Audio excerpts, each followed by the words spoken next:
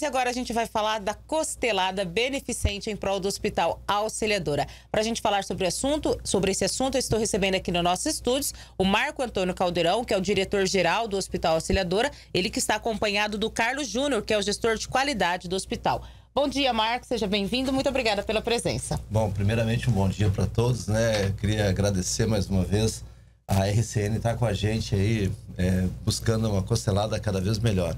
A gente já virou tradição, como sempre, né? E em nome das irmãs salesianas, nós temos que agradecer à população, porque a cada, cada vez que a gente faz uma costelada, a gente consegue ter um grande sucesso, né? E o, a gente está construindo um hospital cada vez melhor, graças às nossas ações internas e sempre com o apoio da população. Então, eu tenho que agradecer a todos aqueles que fazem parte do Hospital Auxiliadora de uma certa forma é, fazer o auxiliador que tem 105 anos e tem a responsabilidade de trazer cada vez mais tecnologia, e, é, atendimento de, de ponta e, e, principalmente serviços de profissionais que são renomados na área, faz com que a gente tenha um desafio.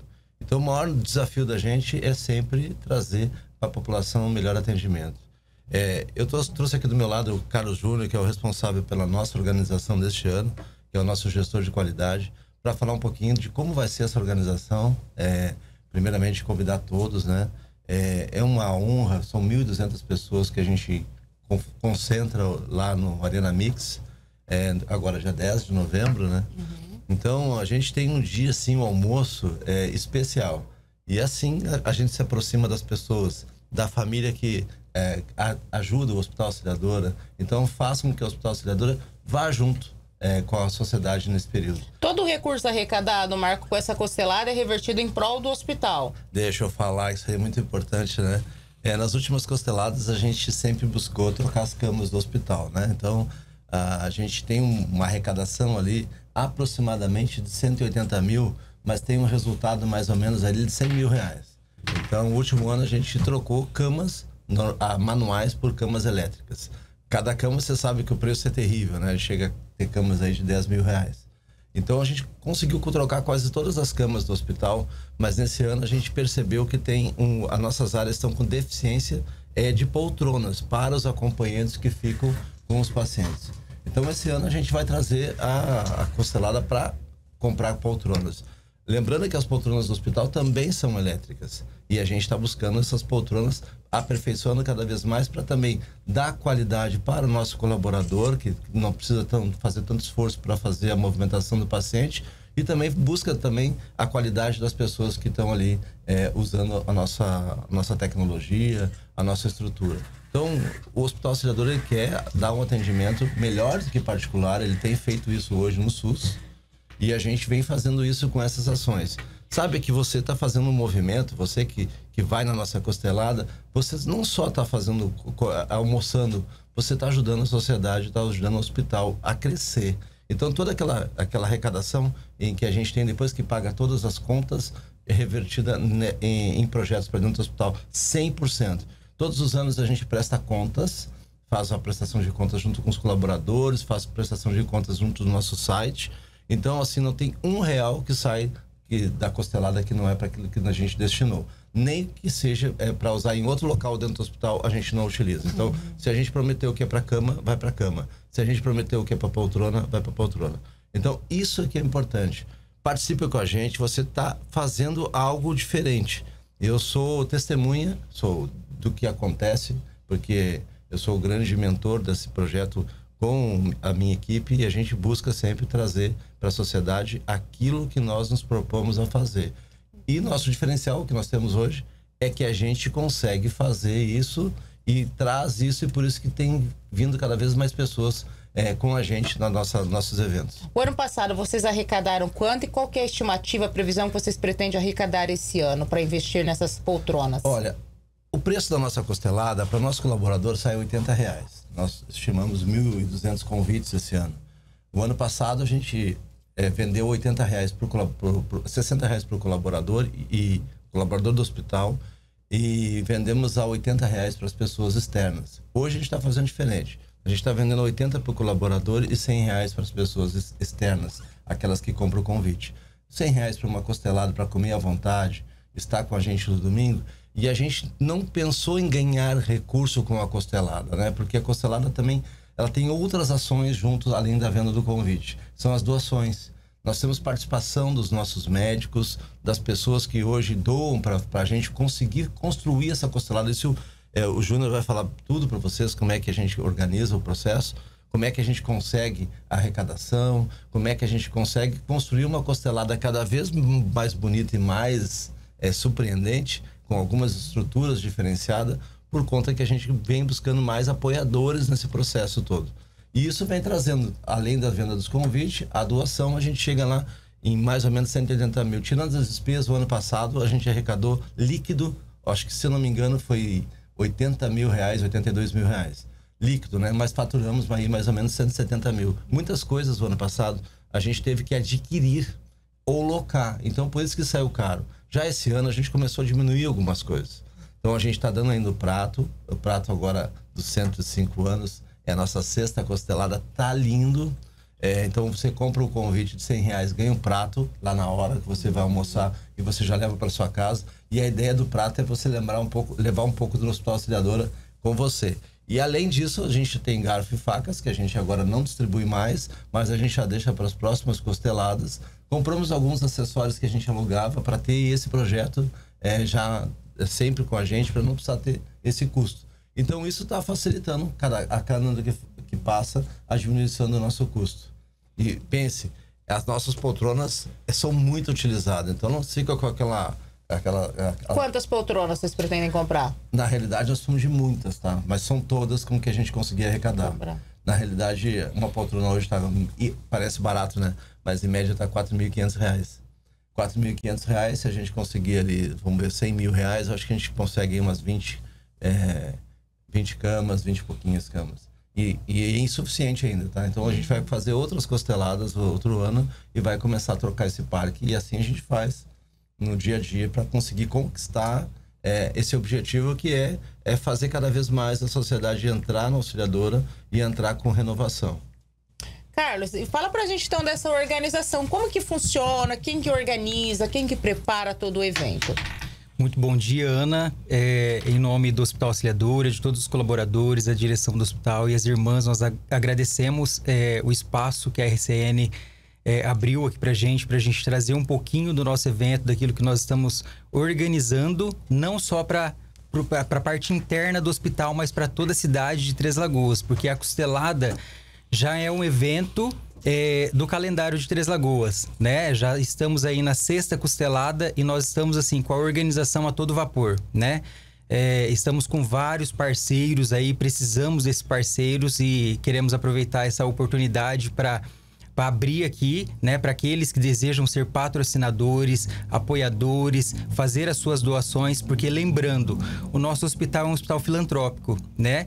É, nós temos que agradecer aí que nós temos uma vida financeira saudável no Hospital Auxiliadora né? Mas nós precisamos fazer várias ações dentro do, do hospital, desenvolver várias ações para que a gente melhora o nosso parque tecnológico, como o Marco disse, a compra das camas, climatizar as unidades. Quem visita o hospital hoje é, presencia que todas as nossas unidades elas são é, nível top, né? As paredes, camas, é, camas elétricas. E nós queremos agora adquirir essas poltronas para dar mais confortos para os nossos pacientes. Nós temos muitos pacientes que são acamados, que saem da UTI e descem para as unidades de internação. E nas unidades de internação nós precisamos dar esse conforto para o paciente e também para os acompanhantes quando é necessário ficar junto com os pacientes.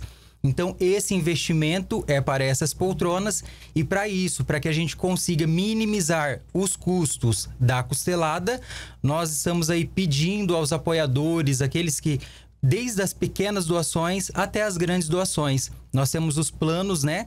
É, de patrocínios, né? E, e dentro desses planos é fornecido é, o stand, o plano ouro. E aí, dentro desses planos, nós temos os valores, né? Plano bronze, plano prata e plano ouro, para aqueles que desejam ser patrocinadores.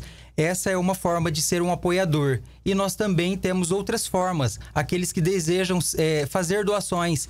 Não, olha, eu tenho é, uma tenda, eu tenho contato com o fornecedor, eu quero doar é, tomate, né? Porque o nosso carro-chefe é a costelada. Uhum. Mas junto com a costelada nós temos todos os acompanhamentos, né? Ah, não, olha, eu trabalho com mandioca, quero fazer uma doação de mandioca. Nós temos todo o processo de doação e cada uma dessas doações ajuda muito nesse processo para que a gente consiga desenvolver uma costelada de qualidade, que é isso que nós entregamos no dia 10 de novembro. Então queremos reforçar essa data, coloque na sua agenda. Dia 10 de novembro vai acontecer a nossa costelada do Hospital Auxiliadora.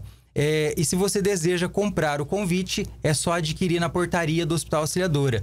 Chega na portaria, você pode comprar no cartão, no débito, é, no dinheiro, né? Então nós estamos vendendo os ingressos da nossa costelada é, na portaria do Hospital Auxiliadora. Até quando as pessoas podem comprar? Ó, nós, nós vamos estar vendendo até nas vésperas do, do evento. Uhum. Porém, é, a quantidade de convites é limitado, uhum. né? Porque nós estamos programando para 1.200 pessoas. E como nós queremos fazer um evento de qualidade, entregar algo de primeira para a cidade de Três Lagoas, como a gente sempre tem feito, né? Nós estipulamos esse quantitativo de 1.200 pessoas. Então, acabando os convites, infelizmente não, não terá mais convites para vender. E quem que prepara a costelada? Quem que organiza ali? Como que funciona? É, essa questão da, da, de todo o processo da costelada, né? É, a gente recebe muita ajuda, muitos apoiadores, que nem a costelada em si. Quem vai estar tá fazendo vai ser o pessoal do Lions, lá de Junqueirópolis. Está então, está né? com a gente desde o início. É muito importante ressaltar que eles vem com muita alegria. Eles vêm um dia antes, faz todo o preparo, prepara as costelas e tem todo uma acende, dinâmica para fazer. Acende o fogo lá às quatro é, da manhã. Isso, tem toda uma dinâmica para acontecer essa costelada e é muito bonito. Você vê aquelas costelas todas lá expostas, né? E, e, as pessoas participando nesse domingo, no dia 10 desse momento. Então é muito gratificante a gente ver o resultado da é, costelada. É importante falar, né, uhum. Júlia, que nós temos aí apoiadores, colaboradores que trabalham, então são pessoas voluntárias. Quantas pessoas hoje juntam na equipe de doação? Que participa como colaborador doador? Em torno de 80 pessoas aí participando da equipe, mas além dessas pessoas, nós temos a equipe do Lions e nós temos esse ano também a equipe do Terço dos Homens, Terço que vai estar com a gente, da, né? Da, da, da, Nossa Senhora Aparecida, né? Ontem a gente teve uma reunião com eles, né, Marco? E tivemos uma reunião com o coordenador da equipe do Terço dos Homens. É o presidente. E ele, o presidente, ele deu ok já para estar tá ajudando a gente nesse projeto. Então, assim, são muitas mãos para conseguir desenvolver essa, essa festa né, para 1.200 pessoas. Então é muita gente. Uhum. E esse ano a gente está pegando algumas colas de alguns outros eventos que aconteceram, né? Então a gente vai tentar conduzir nossas equipes para poder, depois que a pessoa compra a bebida, né? Para poder, em vez de ela sair e buscar, a gente vai buscar entregar nas mesas. E, e como sempre, a tradição, a nossa costelada, a tradicional, é, é, a nossa tradicional, é, é, o nosso tradicional bingo, né? Bingo, ah, é isso. Bingo é isso que eu ia falar, é. viu? Isso. como tu falou em patrocinadores, pessoas que têm alguma coisa pra gente colocar no nosso bingo, isso é importante você falar. Então, é um acúmulo de receita, de brincadeiras que fazem a gente ter esse resultado. Uhum. Primeiro, a venda dos convites, segundo, o patrocinador, é, a ter, terceiro, a mão de obra nossa voluntária, seja de pessoas que são colaboradores e são pessoas que vêm de outras regiões porque acreditam na causa e também o nosso, o nosso, nossa brincadeira do, do bingo. Então você pode ajudar, você pode participar. Não vai lá só comer um churrasco, né? É passar um dia agradável. Passar Na verdade, um eu sempre falo assim: você vai estar unindo o útil ao agradável, vai estar se deliciando, tendo um momento de descontração, lazer, mas ao mesmo tempo mais importante, ajudando um hospital que é tão importante para os pacientes, e né? Tem música esse ano, Júnior? Tem música. Isso. Olha, também. então assim, além da costelada, que é o nosso carro-chefe, uhum. que é, uhum. né, é o nosso prato aqui é a costelada. Nós temos várias atrações nesse domingo. Então, o bingo, como o Marco falou, né, que é um momento assim de descontração que o pessoal gosta muito. É, música, a gente vai ter os cantores lá durante a festa. Então, é um momento muito agradável. É, a gente vai ter a venda de doces ali, as bebidas, né? E todos os acompanhamentos aí que vem junto com a costelada. Então é um momento de muita descontração, né? Onde você conhece pessoas novas de Três Lagoas, reencontra amigos, né? É, então é um momento muito agradável, de muita é, união ali entre a, a população de Três Lagoas.